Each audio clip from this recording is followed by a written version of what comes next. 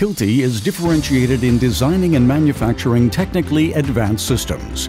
In the early 1950s, Hilti introduced the powder-actuated tool Perfex. With the next product, DX100, Hilti invented the most important safety principle of direct fastening tools by introducing the piston principle.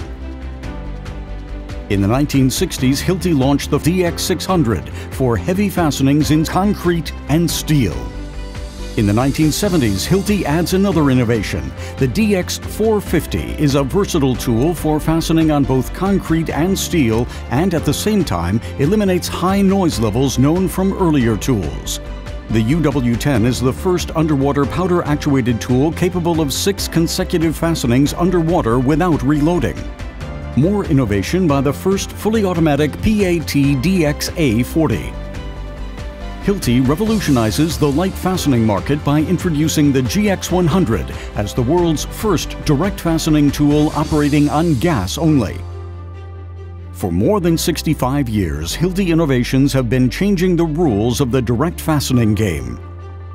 Hilti has launched the BX3, the first battery-powered direct fastening system for concrete and steel. Combustion-free, lowest recoil, low noise level, BX3 is using Hilti's 22-volt platform sharing the same battery with currently over 20 tools. Hilti BX3, the world's first battery-actuated fastening tool for concrete and steel.